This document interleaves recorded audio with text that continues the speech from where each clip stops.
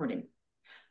Hi, everyone, and welcome to today's Lunch and Learn. My name is Terry Weber, and I am with the Work Life Elder Care Office. Our topic today is on the importance of sleep, something that eludes all of us, or many of us at least.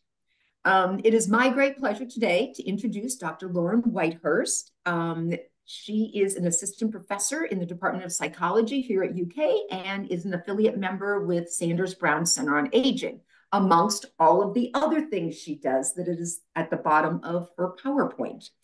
Um, so without further delay, let's let uh, Lauren uh, talk to us about sleep. Welcome, Lauren. I appreciate you joining us today. Thank you so much, Terry. And thank you for that introduction and for the invitation to talk with this um, fantastic group. Um, I was really excited to get the invitation and I'm glad to be here today. Um, so, that was a really great overview of what we're going to have, hopefully, a conversation about today. Um, we'll talk a little bit about the psychosocial and health benefits of sleep. And move into the daily and long-term costs of sleep loss. So in the work that I do, I really am interested in kind of what does good sleep look like and how does it set us up for those psychosocial and health benefits. But then also when we don't get good sleep, that might have different consequences and costs. So we'll talk about a little bit of that and I'll give some relevant examples from some of my research. And then um, we'll contextualize some of those examples um, given the, the context of sleep loss in our broader society.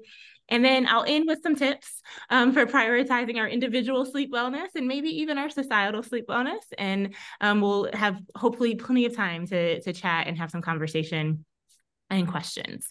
Um, as you all, as I'm as I'm talking, so I'll wait till the end to take questions. But as I'm talking, if you have a question, feel free to go ahead and put it in the chat when it comes up mm. for you, mm. and then I will ad- address them at the end. Um, and then I will also encourage people to unmute and talk and share. Okay, so let's start off with this pretty common scale. Um, it's called the Epworth Sleepiness Scale, and we use it in my lab quite a bit. Um, and it's going to give you all a little bit of an understanding of kind of where you are. So this is the scale, and it asks you to think for yourself how likely are you to doze off or fall asleep in the following situations. And I want you to think about this in contrast to just feeling tired, right? So you can feel kind of fatigued or a little bit tired, versus actually falling asleep. So you're going to use the following scale and you're going to use a zero would mean you would never fall asleep. A one means you have a slight chance of dozing. A two is a moderate chance of dozing, and a three is a very high chance of dozing. And I'm going to give you eight situations. So the first one is if you're sitting and reading, give yourself a score zero to three. Watching TV, again, a score zero to three sitting inactive in a public place, like a movie theater or in a meeting, as a passenger in a car for an hour without a break. Importantly, that didn't say driver, passenger. Lying down in the afternoon when circumstances permit. Sitting and talking to someone. Sitting quietly after lunch without alcohol.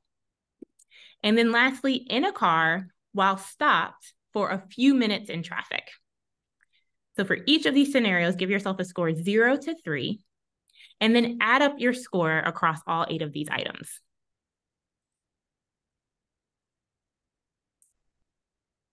So I, this is a really great scale because it gives us a good understanding of kind of how sleepy you are while you're walking out in your day.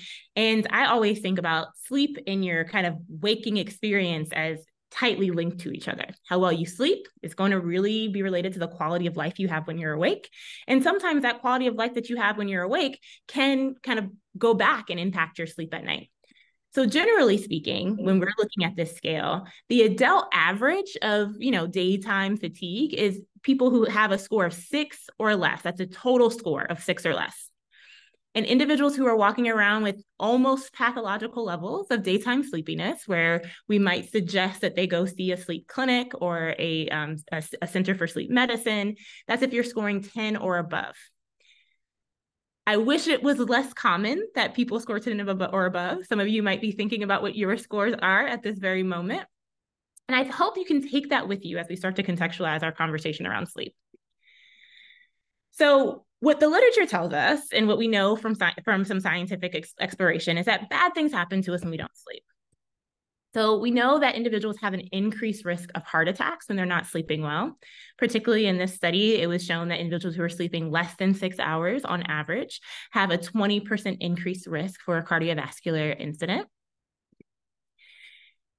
Sleep is tightly linked to our cognitive function and our attentional abilities. And so in this study, they found that individuals who were sleeping less than four hours in the past 24 hours had significantly higher risk of getting in a car accident, for example. Um, there's really great literature thinking about kind of intoxication due to al alcohol and, and sleep deprivation or sleepiness and its risk and your risk for car accidents. And then lastly, this study is one of my favorites. Um, in this study, we often think about kind of how, how we when we're when we're sick, we actually feel pretty sleepy and we need sleep to kind of get over that illness. This study actually found that um, sleep might also protect you from getting sick in the first place. So they had participants monitor their sleep for about a week and with a variety of objective and subjective measures. And then they brought them into the research lab and they exposed them to a kind of common cold virus. And what they found was that those participants who were sleeping less than five hours on average the night before had a 100% increased risk of getting, of catching that virus and having more severe symptoms of that virus compared to those participants who were sleeping more than seven hours that week before. So not only does sleep help you get over sickness or illness, it also protects you from getting from catching it, right? We're coming in contact with 10,000 pathogens a day. If you're well slept, you'll likely not get that. You'd likely have a stronger immune system to protect you from those from, from those diseases. Now, in addition to some of these like physical health benefits of sleep, it also supports our psychological health. So this study, um, this this particular kind of representation is some work that was done in rodents that showed that the same neurons that are involved with which you learn as you're walking throughout your day and you're taking in information are also active at a slightly different rate, but are in a similar pattern when you fall asleep at night. So, this was evidence that supports the theory of one of the reasons why we might sleep at all is we actually end up replaying what we learned throughout the day during sleep and we strengthen that relationship in order to protect our long term memory function, to keep the memories that we make about our lives stabilized in our brains over time. And it turns out that when you look at how well we form memories across a period of wakefulness, you learn some information, you stay awake for eight hours, you test on that or try to recall that information, versus you learn some information, you sleep for eight hours, and you look at how well you're able to retain that information. Sleep overwhelmingly benefits your ability to do that. You often don't retain or learn any better over time unless you sleep.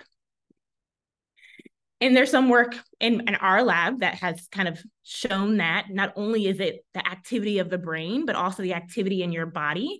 So your brain body connection kind of together to support your ability to learn information and to maintain that information across time. And sleep also makes you feel good, right? So it quite a bit of studies have shown that when you are well slept, you report lower amounts of negative emotions. You are less sensitive to kind of event based stressors, lower rates of anger, lower rates of sadness. When you're well slept, you also have higher rates of positive emotions. It's not just that you don't have the bad feelings, you also have more good feelings. You report higher levels of happiness, more satisfaction with the, your current life circumstances, and you also display create greater create creativity and insight um, with kind of specific types of sleep really seeming to be important for that creativity and insight so, in the context of what happens in our brain while we're sleeping at night, what we know is that over our lifespan, our kind of regular neural activity, we have these buildups, right? This buildup of toxins and amyloid and um, neurofibrillary tangle, these, this buildup of these toxins that over time can turn into pathology. Um, and so in a healthy brain, you kind of have this buildup across the day. And that one thing that sleep does is it helps you to clear out that amyloid plaque or those amyloid or those those um, tau proteins at night so that you have a refreshed capacity in the morning. So this glymphatic system that's associated with your with your sleep with your sleep is optimized at nighttime during sleep and not as not working as well during the day. So it suggests that sleep really is a is a kind of mediating factor in the buildup of these plaques over time. Um, and it can also predict so, how well you're sleeping at night can actually predict how much amyloid you might have built up in your brain in this particular study five years later. But we're still all very sleepy. so, I can lay out the benefits and talk about all of the costs, but 33, one in three US adults don't get adequate sleep. And what I will say is that many studies suggest this is potentially underreported and that it's more closer, closer to, you know, 50 or even 60%. One study suggests 76% of US adults don't get adequate sleep. So if we even take this 33% number, that still means that every third person that you see that you're walking around is really experiencing high depths of sleepiness. And if we pattern that across the US, this is a, this is um, some data that was conducted by a colleague out in Arizona, where they're really interested in kind of insufficient sleep across the U.S. And you can see some really clear patterns here. The first thing that we should pull out is that a lot of us are sleepy. So even these yellow states are still the lowest rate here is 24, 25% sleepy, right? So everyone is still, many people, a fourth of us or so are walking around quite sleepy. But there are changes dependent on this geographic region, right? So here in the South, certain parts out West, here in Kentucky, right? There's a lot of people that are experiencing high levels of sleepiness. So one thing that we do, we do in our lab is we try to understand patterns patterns in that. So we can look at the state level, but we can also look at some of the groupings. So this is also race and ethnicity by county. And what we find is if we start to look at those groupings, one of these kind of really clear areas where you have a lot of sleep deprivation are also areas where you have high high high density populations of black americans. And so this is true um, so this is true in other and provides evidence in other studies where black americans seem to be sleeping less than almost every other racial group by number and significantly less than white americans who are oft, often the most health advantaged group in the us and this is after you've accounted, after people in studies have accounted for a lot of the things that you would think might be related to these differences, right? So thinking about age, gender, education, even work schedule, thinking about people who are working shift work versus those who are not, smoking status, mental health symptoms, um, weight, BMI, and even also some health related aspects that might be related to sleep, right? So hypertension, diabetes. These racial, th- these racial differences still persist in one of the projects in, in my lab, we were really interested in thinking about that same relationship. And so we um, surveyed people all across the US. Um, what you're seeing here is a map of our participants, where they came from. We had a little bit under 7,000 participants in this study. You can see kind of those darker gray areas are suggested of where the density of our participants came from. Um, a the blue area, the purple dots are people who are coming from um, kind of more rural areas, and then the um, green dots are people who are coming from much more urban areas. Um, and so, so this is kind of what our participant sample looked like. And we just asked a couple of questions. We were really interested in what is determining sleep duration, kind of sleep length of sleep in this population. And we looked at a, a ton of different variables. We looked at sex, we looked at education, we looked at race and ethnicity, and we looked at some health behaviors. And what we found overwhelmingly was that Black be reporting or identifying as a Black American made you significantly at greater risk for, for sleep loss. Um, in, in, in our sample as well. So we kind of replicated those previous findings and looked at this kind of really diverse sample of Black Americans one of the issues, right, with these existing sleep disparities is that sleep is this really basic physiological function that is regulated by a lot of other physiological functions and also regulates other physio- physiological functions. So, not getting great sleep actually puts you at risk for a variety of health concerns. So, Black Americans, this group who's not getting a lot of sleep, also has has are at greater risk for cardiovascular disease, things that are related to some of those kind of um, comorbidities that we often see with Alzheimer's disease or um, kind of accelerated aging. as well as diabetes, another one of those kind of metabolic factors that are related to accelerated aging. Black Americans have higher rates of that compared to um, white Americans, which again are kind of the most health advantaged group in the US. And this also is really clearly seen with Alzheimer's disease and dementia, where Black Americans have about two times the risk of Alzheimer's disease and, and dementia compared to white Americans. So these potentially, these sleep differences and disparities might be putting people at risk for a whole host of health concerns with Alzheimer's disease and dementia and cognitive, accelerated cognitive aging, one of the foci of the work that I do in my lab. Now, before we go too much further, what's really important is that sleep is not this time at night where we just close our eyes and we shut down.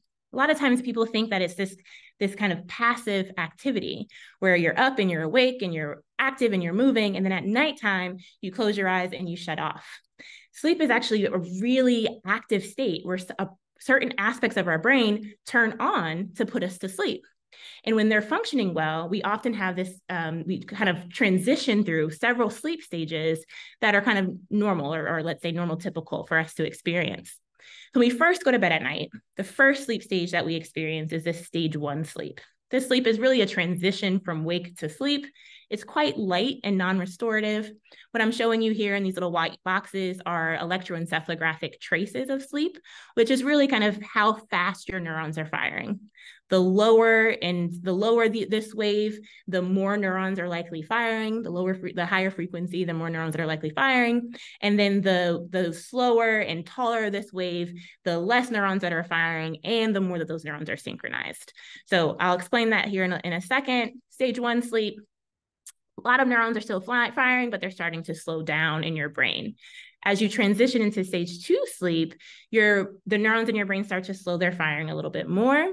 About 60% of our entire night of sleep is made up of stage two sleep.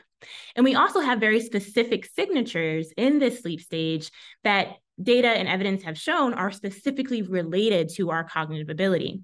For example, these sleep spindles, I, which you see depicted right here, are these fast frequency um, neuronal oscillations that are representative of communication between different brain regions. And and at, at night. Um, it's really this transfer and it's um, a part of our brain's ability to kind of lay down memories. Um, this signal is one of those representations at night.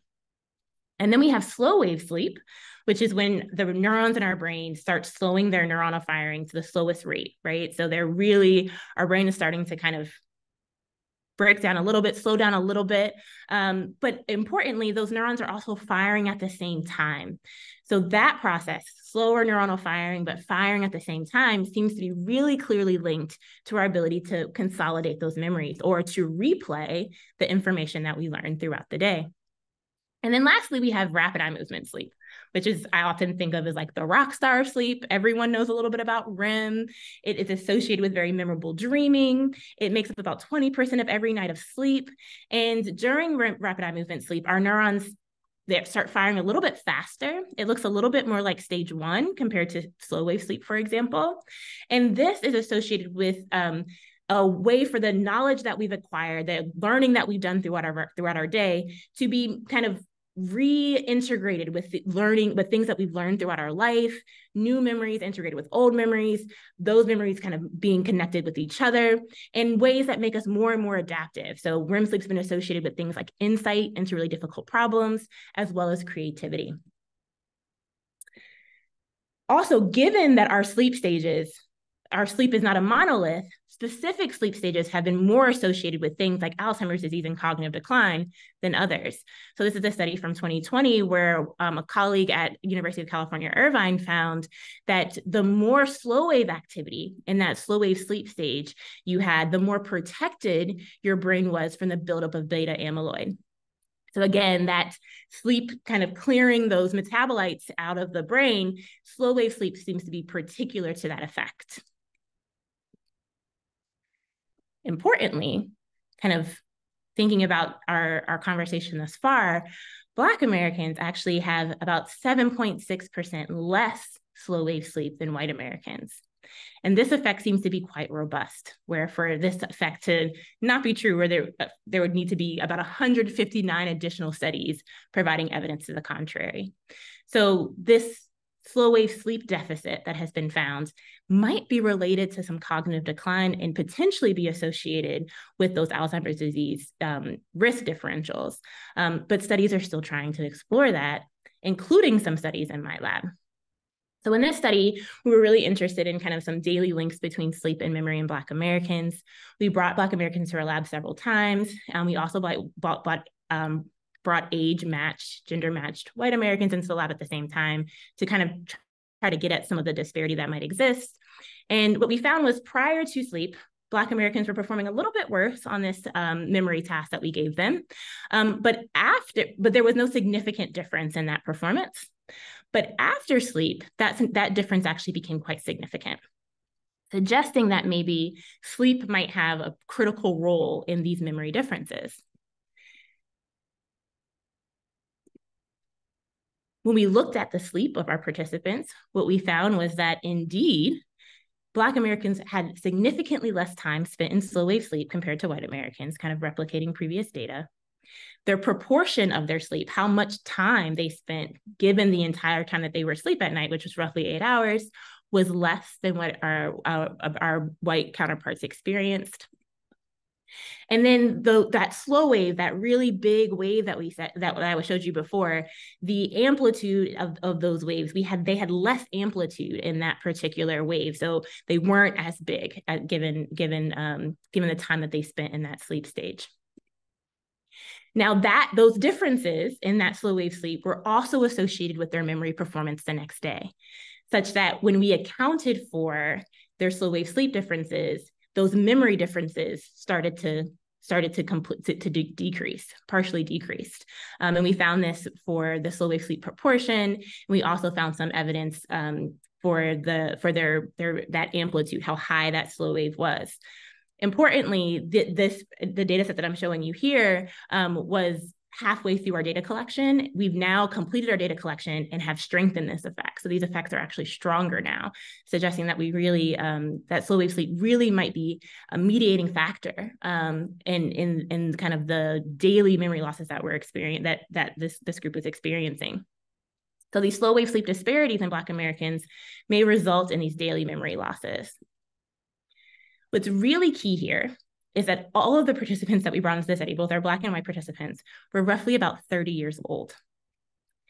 So these memory differences and sleep differences are presented much earlier in the lifespan than when we traditionally do our studies looking at cognitive aging.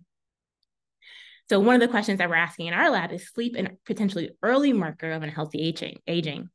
So this study was done by some colleagues at Rush University, Lisa Barnes, and what she found was that at baseline, um, in this particular study, black and black and white participants who were 65 and older were performing significantly different. So when they came in at 65, did their initial memory task, their initial battery of cognition, they found significant differences in their performance. When they examined their trajectory of cognitive cognitive change across five years, Black and white participants were not significantly different. So suggesting at 65, when we're initially doing our test and trying to track um, cognitive health risks across lifespan, individuals are different at that time point. Their change in trajectory don't seem to be quite different. What our data suggests is that sleep might be an early marker of these daily memory changes that we can start leveraging at 30 years prior to, the, to when this study was, was done and completed. So what I have yet to answer are the causes of some of this sleep loss in Black participants. And to do that, we have to kind of step out of the physiological correlates that we often think about and move to some social determinants of, of the world that we live in. Um, specifically thinking about um, employment as well as um, stress and discrimination that Black Americans might experience. So when we think, so shaping the kind of um, near this last part of our of our presentation here, thinking about how social determinants and sleep disparities might be related. So first, there's an important historical context. We know that our country has a history of enslavement where Black Americans were forced into labor conditions, um, as well as really brutal daily social conditions that extended from the birth of our country all the way to through Jim Crow and subsequent years. When we think about that historical context, sleep disruption and dysregulation was at the very beginning. So this is data from this is a, this is a, a quote from Frederick Douglass's um, autobiography where he think where he's recounting the conditions on an enslaved labor camp and stating that one of the tools and one of the things, physiological things that were manipulated the most was sleep. And so enslaved Africans were brutalized for oversleeping more than any other thing. And that shaped the relationship to sleep kind of jumping forward to a, a more more modern labor context, this is data from the um, U.S. Bureau of Labor Statistics in 2018, suggesting that by percentage, Black Americans participate in shift work, meaning that they're working when their bodies would prefer to be sleeping, at rates higher than any other um, racial group in the U.S. And as a result, that racialized labor, both at historically, as well as some of the modern contexts that we're experiencing, likely also equates to racialized rest. More studies thinking about that in an epidemiological framework definitely need to be conducted. Now, a more modern context, which is kind of ripped from social media, is this idea of kind of hustle and rise and grind culture. This is really rooted. It kind of um, kind of um, was birthed through kind of Black cultural com- commentary and discussion. It's really integrated into music and other um, understanding about kind of sleep when you die and and you you know never take a rest. Our 24 hour culture seems to be uniquely rooted in some of um, Black American daily interaction, um, which might also shape the ways in which um, Black Americans orient to sleep and rest. And then there's an overarching kind of context of the social conditions around police brutality, again, pulling from our, our country's founding into today, where Breonna Taylor and Amir Locke and several other Black Americans have actually, their lives have been taken by state, state, state sanctioned violence while they were sleeping. Um, so that context around safety and sleep and some of the conditions that your body needs physiologically to in, initiate sleep, right? A space of calm and, and peace and, and safety um, there's there's tension and conflict there. So to wrap up this this this little bit this section here, um, slow these slow wave sleep losses might correlate with these daily memory deficits for Black Americans.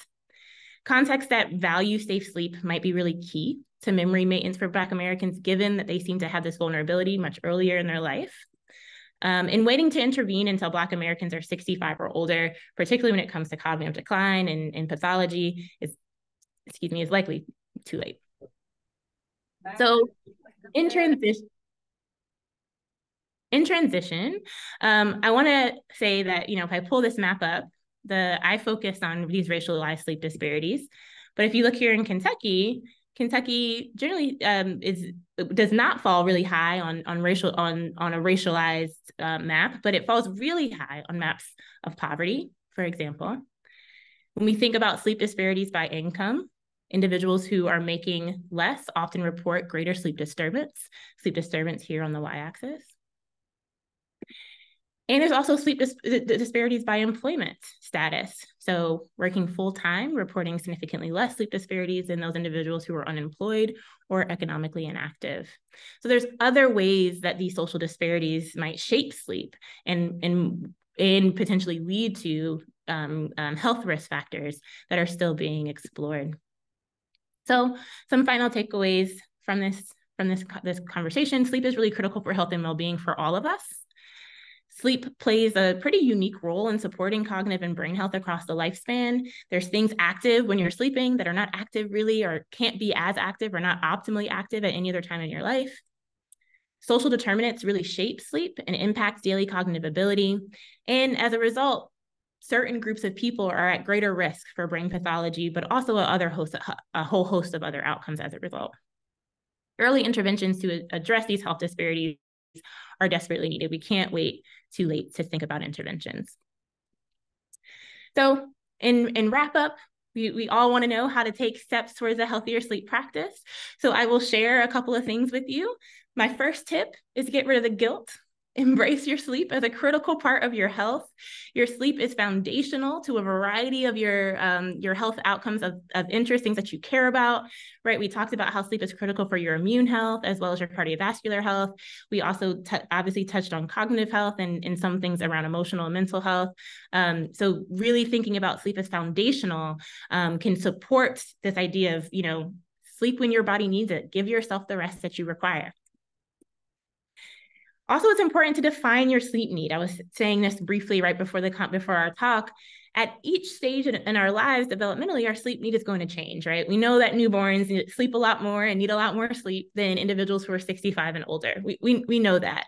But we also have a unique need inside of each of these brackets, right? So what your sleep need is might not be someone else's. And if you think you need to get eight hours, because that's what everyone says you need, but you actually only need seven and a half, that disparity might be creating some stress for you. And the truth is, is that seven and a half is perfect for you. And that's exactly what you need, but you're trying to lay in bed for that extra 30 minutes. So really identifying what your sleep need is can go a long way to towards you having a healthier sleep life. Once you've defined it, you have to prioritize it. Identify your safe sleep and sleep environment. I always say make your bedroom your haven right? Those of us that can live in in safe spaces and and have access to these safe environments make those spaces. All you do in them is sleep right? In your bed you should be sleeping as a priority. And then schedule it.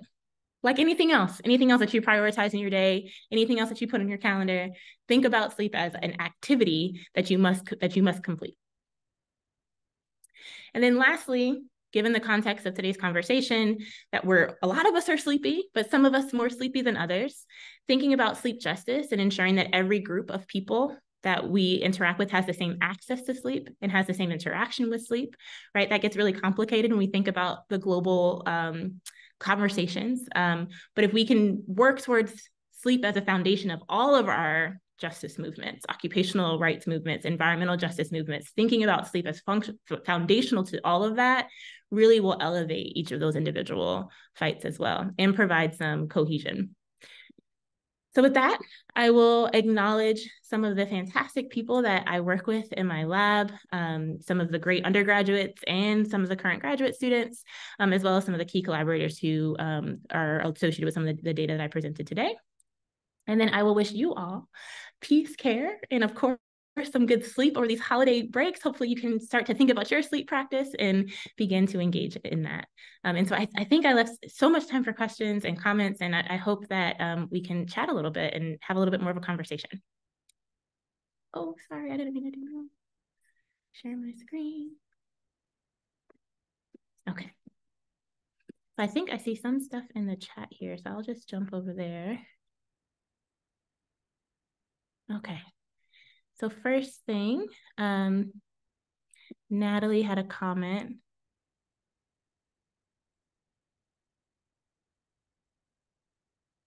Oh, thanks for that comment. Oh, well, I'm, I'm very, Natalie, thanks for sharing that with everybody. I'm really gr grateful that you recently did an evaluation and I hope you um, are receiving, you receive the healthcare that you need to help support those sleep concerns. And then Natalie also asked a question about fitness tracker, trackers. Do you think fitness trackers that track sleep are anywhere close to accurate at tracking sleep stages? Um, I often think about any wearable devices, anything that you're wearing on your wrist or anything that you wear a headband, anything that's not actually gathering um, neuronal you, sleep is a brain process. So you have to kind of know what's going on in the brain to truly stage your sleep.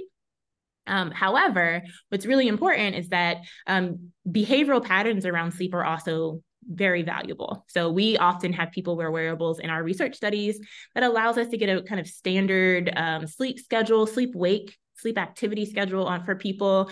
Um, so it's what I will say about activity trackers and wearables that they're really good at the day to day. They're really good at if you're wearing them for a week or you're wearing them for two weeks to tell you if this day is different from the day before or the day after in and of themselves, their sleep staging is probably not great, um, but it's going to be good for you to compare days. So you know if you get a lot less sleep or a lot less in a particular stage based off your wearable, that's probably reflective of, of something for you. If if if you're using some of the the better wearables, Apple has a pretty good algorithm. Um, Samsung has a pretty good algorithm with their, with their, watch. Garmin has a pretty good algorithm with their watch. Um, so those are some of the watches that have some good algorithms. There's a lot of them out there on the market.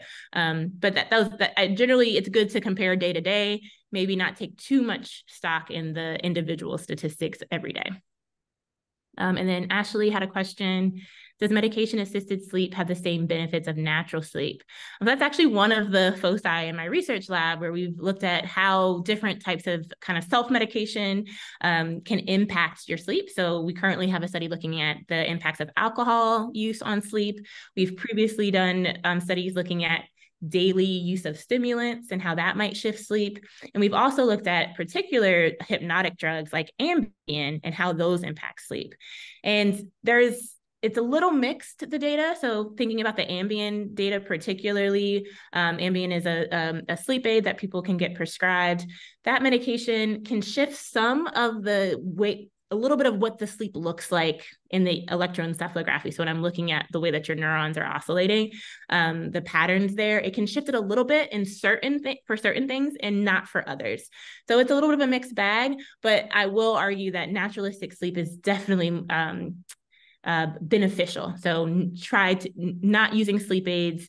Um, it's great if you don't need them. If you need them and you're having a really hard time sleeping, seeking your doctor's recommendation and working with them to get you back to a pattern where you can sleep is great. Sometimes we have acute sleep loss for a variety of reasons. And so kind of getting back on that schedule and getting your body used to falling back asleep and feeling safe in that space might be might be something that you that you know intermediate um, uh, for short-term purposes not not so bad and then after our afternoons naps beneficial or detrimental to nighttime sleep? This is a great question. Um, I, I I'm going to take this question and then I think I see a hand raised, and so I'll go there and then I'll come back to the chat. Um, so afternoon naps, I love studying naps. So we have we use nap as a methodology in our lab to study sleep. It's really great for a lot of reasons. I can talk about it for forever, but just for yourself in a day to day day-to-day schedule can i take naps to help to support me and not impact my nighttime sleep so nap so sleep just like it's not a monolith and that we have these various stages which is important it's also um, really relevant uh, related to the time of day so one of the things that drives us to sleep every night is that slow wave sleep that we talked about so our homeostatic drive for sleep is linked to slow wave sleep. And so as slow wave sleep builds across the day, that makes us really sleepy. So if you were to take a nap and satiate a lot of that slow wave sleep that has built up, it will get it will become harder to go to sleep at night. So what we set, what I usually suggest is that earlier naps, so naps before 3 p.m., right? You're waking up before 3 p.m. You usually don't see too many problems with your nighttime sleep because you wake up at 3, you still have enough time to build up your slow wave sleep pressure, and then you'll be able to get back to sleep at night. If you are waking up at 5 p.m. or 6 p.m. or 7 p.m., it gets a lot harder to fall back to sleep at night because you your body hasn't built up enough pressure. You might fall asleep for a little bit just because of the time of day and you're kind of used to sleeping at that time of day, um, but you might not be able to maintain steady sleep at night. Um, so earlier naps in the day usually much much more um, supportive of sleep. As you age, napping the way that naps impact sleep can be very different. So if you're having accidental naps, as you start to age. Um, you didn't mean to fall asleep, but you fell asleep anyway. Um, that's that might be related to some other health concerns. Maybe there's some sleep apnea or some other things going on. I would definitely reach out to a doctor if you're having a lot of accidental naps throughout the day or throughout you know a couple of weeks or so. Um, and and and those naps might might be not as beneficial. Intentional naps, great. Accidental naps, that might be indi- indicative of some sort of other health concern. Okay. And then I think Dr. Yubong has their hand up, so I will go there. Hi, how are you? Thank you. It was really good talk, Dr. Whitehurst. Um, I wanted to talk to you more about the sleep justice. So yeah. I'm at home, I'm on maternity leave, Yeah. And I was thinking about that population um, in particular, and I've been thinking about it while I'm on leave. I've been fortunate to have three and a half months off. I go back to work in a couple of weeks. So it's slowly coming to an end, well, quickly coming to an end. But sleep is an issue.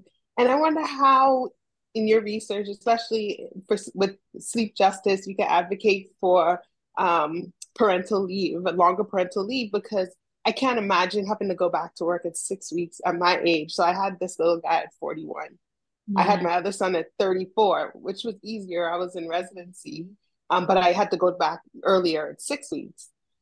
It wasn't great, but I, now with this one, I can't imagine having to go back in six weeks. And in many other countries, the parental leave is longer because of bonding and um, with mother baby, parent and baby. Um, and um, other things like that. But in terms of argument for sleep, having to go to work, do a whole days of work as a physician, I have people's lives in my hand. Literally, I have to think clearly. Then I have to go home, take care of baby who may not have a um, a regular sleep schedule yet. And then your schedule is the baby schedule. So I want to know how can we advocate, you know, for better or longer parental leave um, using arguments such as sleep. Yeah, that's a first of all, thank you for being so like honest and sharing and like vulnerable. Like that's thank you so much for placing this in, in like a real contextual um example. And so I'm actually in the process of working on a kind of systematic review with one of a colleague and my grad student and the whole con it, where the conversation is really about sleep and labor and how it's really it's like the hard you can't detract the two, right? So this idea of like racialized rest is is is you know racialized um racialized labor is also racialized rest is that's where that idea is coming from because these two things are constantly rubbing up against each other. And the least in our systematic review, we're doing this across the lifespan. So we're looking at um, children and um, and um, adolescents and young adults at midlife, as well as older adults. And we have a section all for um, pregnancy. And so the context in this is also thinking about racial health disparities across the lifespan, racial sleep disparities across the lifespan, and, and its impact on psychosocial outcomes. And and our section on pregnancy, there's been the least amount of data done around sleep and pregnancy, particularly across racial groups. Um, the little bit of data that is out there that I can pull on and like try and answer your question is that Black women, women seem to work longer going to your question about leave in a country in the US particularly because there's no federal policy. And so the lack of a federal policy means that black women tend to work long longer into their in their to their term and they go back to work much sooner because of their their require their need for the, the economic benefit of, of the labor. And so as a result, there might be some of the things that we're seeing, particularly with high um, uh, maternal maternal death rates and all those things that you know we, the the headlines have been peppered with them left and right about black women just being at greater risk for death when they are giving when they're giving birth. Sleep might be underlying some of that, right? Um, thank you for sharing your beautiful baby with us.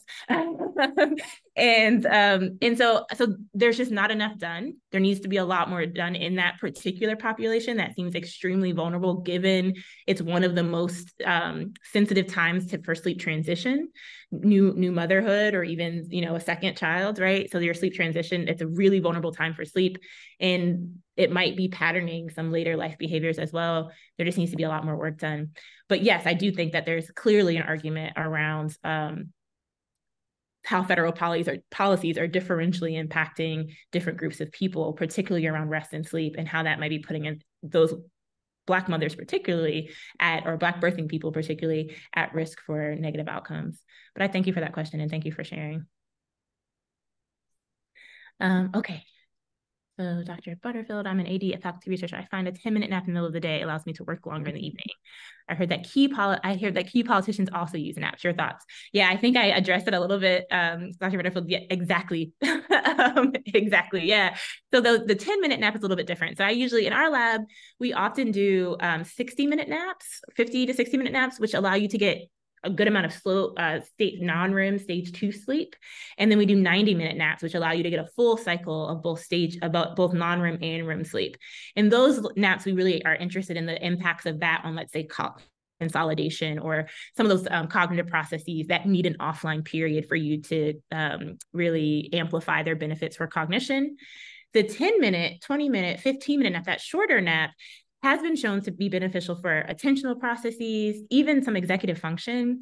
Um, some of there's, you know, hypotheses around, so um, there's hypotheses around kind of the release. So caffeine is an adenosine blocker, and so the the kind of um, way that these short naps might impact adenosine seems to be one of the ways that um, you get that kind of energy or at least attention boost from from a, shorter 20 minute nap. Um, and so those are that those are also seem to have clear benefits for for certain cognitive abilities while longer naps 50 minutes, 60, an hour, or even 90 minutes seem to be really great for some of those more complex cognitive processes that take a little bit longer, higher order executive functions and higher in memory that take a little bit longer to lay things down.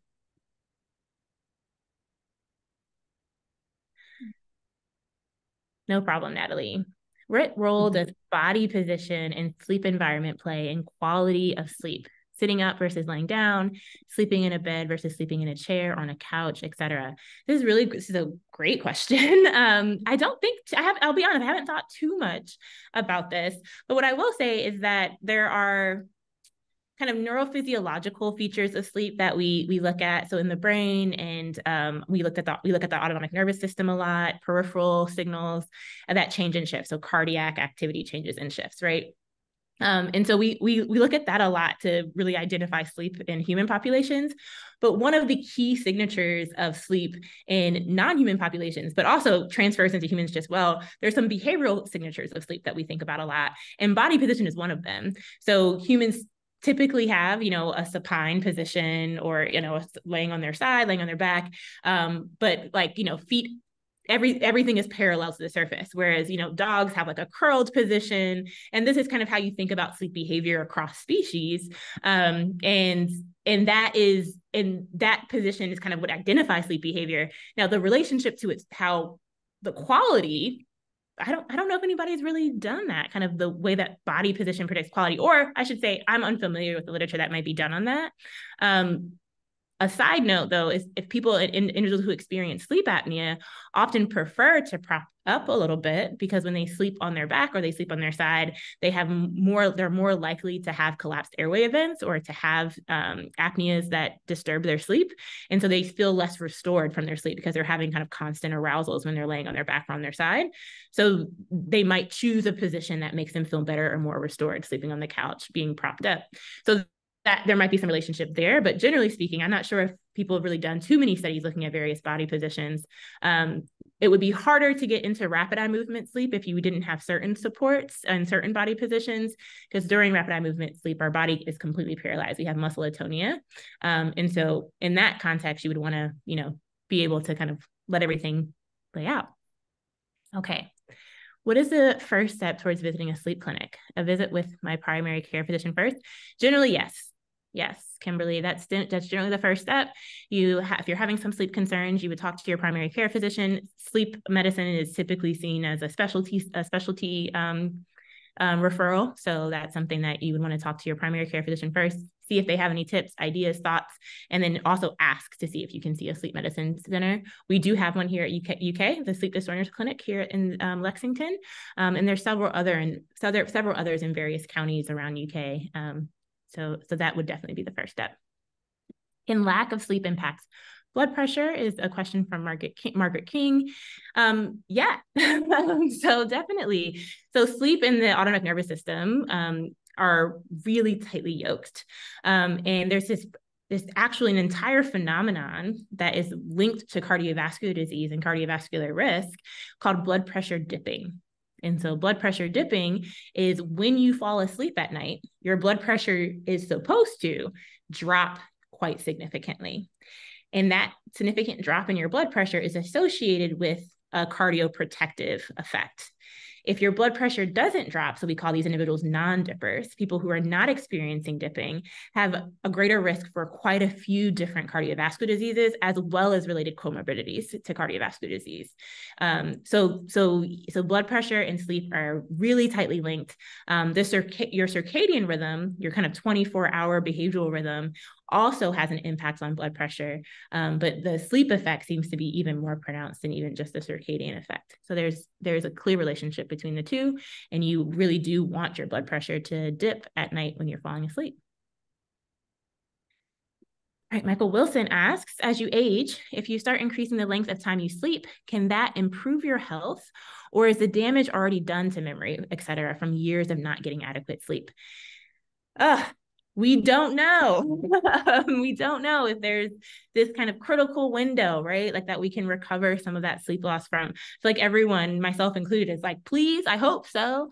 Um, but we're but we're not quite sure. Um, what we do know, and this is something that's it's really critical, is that we it, individually we each have our own sleep need, right? So that eight hours per day on average for people, that's really looking at all people, a ton of people that have been surveyed, lots of observational data, how much sleep do you get on average, right? Um, so each individual person obviously need, has their own sleep need, and we know that as you age, your sleep need decreases. Um, sleep, one of the reasons why we think, or let's say um, sleep seems to optimally optimally support neurodevelopment. Um, and so as you age, you need less of it because you don't have to develop, you don't have to develop your brain as much, right? So your sleep need declines over time. So as your sleep need need declines, you you kind of have to calibrate like what is my sleep need at this point in my life. Um, particularly for women, hormones are are really linked to sleep needs. So menopause transition is a really sensitive time for sleep. There's give an entire lecture on sleep in the menop- in menopause or sleep in kind of um, reproductive hormones. And so there's so that's also another sensitive time. So your sleep need is going to change as you age and recalibrating that actual need so that you're not worrying and like stressing out about not getting enough sleep based off some number. You're actually getting what your body needs at the time in your life that it needs it. And you're thinking about kind of large developmental transitions. So we're thinking 10, 15 year periods, not, you know, a couple of weeks or anything like that. And Sweden maternity leave is 12 months. Hopefully, the US will invest in such leave soon. Yes, I agree. I also have some colleagues that live in Germany and they also get a, a year per uh, per parent, right? So, like per, per caregiver, which is fantastic. Um, yeah, are having a little bit of a conversation, that's great. Regarding blood pressure drop dipping, do you have knowledge of common correlated issues among those with orthostatic hypotension, intolerance? I do not, um, but there is some relation. There is definitely some relationship between hypotension and cognition, um, where both high blood pressure and hypotensive people, so hyperten- hypertension and hypotensive people, um, at the daily level have um, kind of um, a little bit worse cognition. And there's been some studies that have looked at this longitudinally and have shown that both hypertension and hypotension can put you at risk for um, wasn't these studies weren't looking at dementia per se, but can put you at risk for worse cognitive scores on a variety of batteries. Um, so those are some of the studies that are coming to mind. So there is there does seem to be some um, relationship with a tightly regulated system, right? So your autonomic nervous system, including your your heart and your blood pressure, these systems that are kind of regulated by the ANS, they are the idea that you want that you want that regulation. You want that regulation to be tight and you want it to be flexible. You want it to be responsive. Um, and so when it's high or too low that suggests that there's some kind of it's, it's not calibrating correctly. So that that seems to also have some cognitive effects.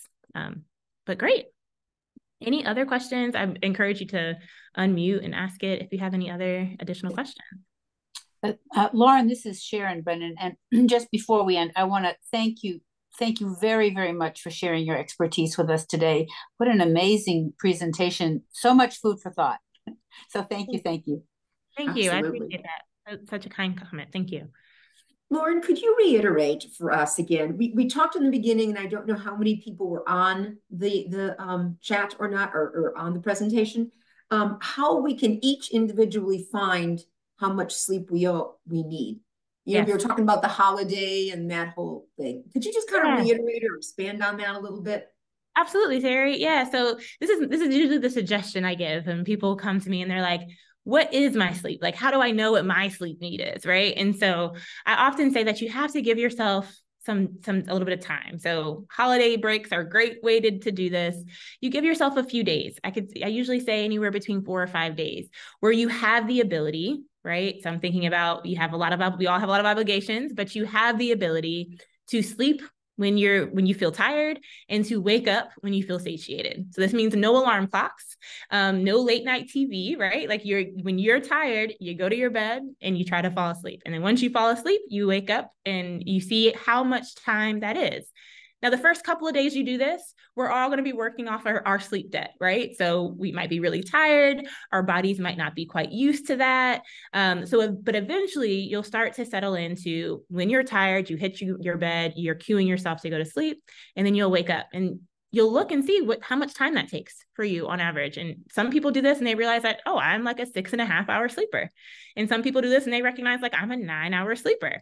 I'm I'm in the latter and I'm more of a nine hour sleeper. And so, and so once you figure that out for yourself, it gives you a little bit more of a kind of precise way to think about your sleep. So when you're outside of that six and a half hours, you can expect some of the cognitive co- cognitive complaints, right? You can expect the fatigue, you can expect that sleepiness and the related psychosocial outcomes.